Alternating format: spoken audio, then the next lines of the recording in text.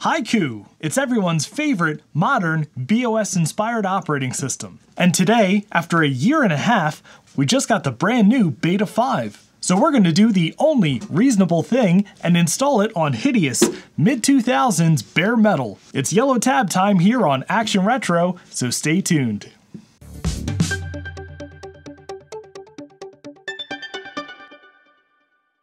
And if you enjoy reviving e-waste with strange and exotic operating systems, I hope you'll consider subscribing to the channel. If you've never heard of the Haiku operating system, you must be new here. Welcome. Haiku is an alternative operating system that's been around since 2002, basically since the demise of the original and somewhat ill-fated BeOS.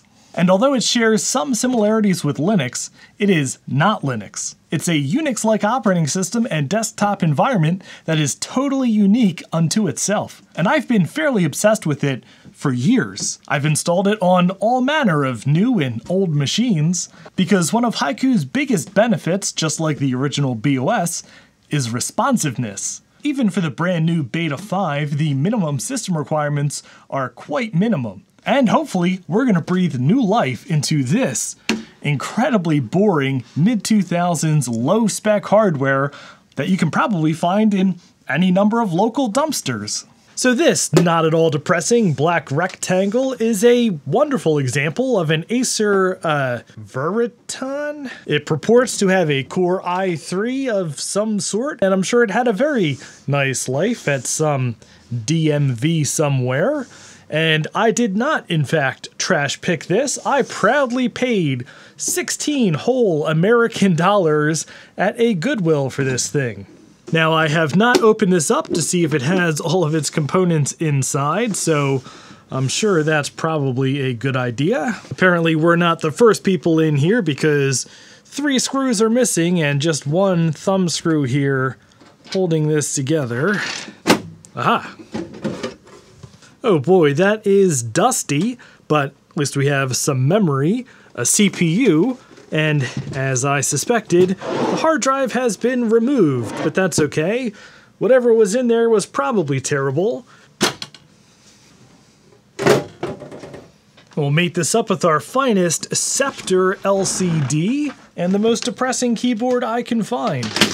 And there is no built-in HDMI on the back of this thing, so we will have to go with a bit of a dongle solution. And to top it all off, Sit Happens mousepad. And I've written a fresh USB stick with the Beta 5 ISO, although you can also burn it to a CD if you so desire. Oh yeah, bootin' haiku. And just like that, we are in the live environment. Mouse works, display is super smooth, so I'm just gonna go for a full install. And if you've never seen Haiku install before, prepare to be amazed at the world's fastest operating system install. And I'm not gonna speed this up at all. I'm gonna let this install in real time. As you can see, already moving at quite a nice clip. Can you imagine Windows installing this fast, or even, dare I say, any Linux distro? I mean, look, we're almost done installing a full system and complete and restart. And here we are booting into our minty fresh install of Haiku. It'll start generating SSH keys, and then, well, here we are, a fully functional Haiku desktop. Let me hook up some speakers. Of course, we have to start with the traditional GLTeapot demo. Oh yeah, 60 FPS, not too bad. And if we turn off limit to display refresh rate, we are getting a nice up to 600 FPS. And if we go into about this system, we can indeed see we are running Beta 5 with our quad-core i3 at 3 gigahertz, our uh, just about 4 gigs of RAM, and we are currently only using 395 megs. Let's see Windows 11 match that. Now, I want to jump straight in and look at some of the cool new stuff in this version of Haiku. We have options for an easy to use dark mode instead of a whole lot of secondary colors in here, which you can still access. We have panel background status bar window tab, and if we change the panel background color, it will automatically adjust other things to make a serviceable dark theme. Even the Haiku feather bar up here matches the dark theme. This looks fantastic. Now, for those of you not familiar with the wonders of the Haiku interface and, well, borrowing a lot from the BeOS that came before it, well, you can do a lot of really cool things with the layout. By default, we have the tracker bar up in the top right corner here, but you can actually drag this around using the little knobbly areas here to make, uh, well, something that might be a little bit more familiar, like a Mac OS style desk bar or even pop this down on the bottom here for you Windows nerds. I, of course, kind of like it up in the top here, so I'm going to put it nice and small right here. We can actually put any number of windows together in tabbed groups. Like here I have a file manager and a web browser together. All I do is hold down the super key and either drag into a group or drag out of a group. Very handy to keep different working groups of windows and applications together. Now, speaking of software, we do have the Haiku Depot, which is the software repository and installer for Haiku. And I have connected this to Ethernet, so we should be able to just load in all of the available software here. And we have a lot of good stuff right here in the featured packages including, well, lots of stuff that you might want, like a PDF viewer, Chocolate Doom, ClassiCube, which is always my favorite, and the Falkon web browser, which is an amazing web browser by the KDE team. There is such an incredible amount of software in Haiku these days available right from Haiku Depot.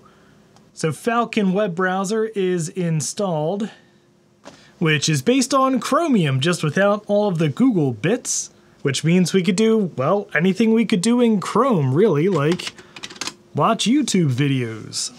And by the way, if you haven't watched this video of me playing a Mac Plus through a guitar pedal, check that out right here, because this sounds pretty awesome.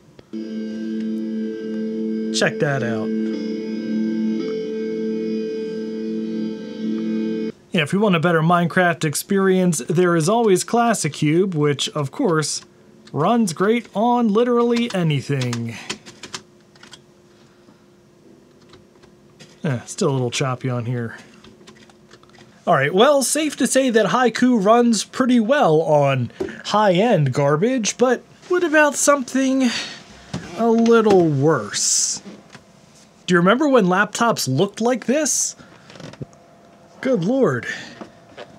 Now I'm going to swap this hard drive out because it sounds mechanical and not happy. Oh good, IDE. Good thing I have one of these DOSDude 1 IDE SSDs we can chuck in here.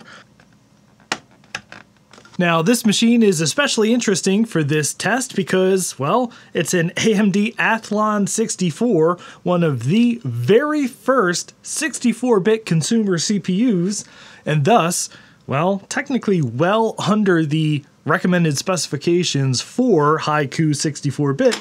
And in fact, this machine is kind of grumpy about booting off of USB, so I've burned a DVD. Look at all of these ports. Oh yeah, it's booting haiku. Yeah, look at that, booted right into the live environment. Trackpad works. It's the correct resolution. Seems relatively smooth, although boy, this trackpad is pretty terrible. Yeah, that's remarkably smooth. All right, we're just gonna do an install. Okay, good. It sees the DOS Lab SSD. And we will give the whole thing over to BeOS. Alright.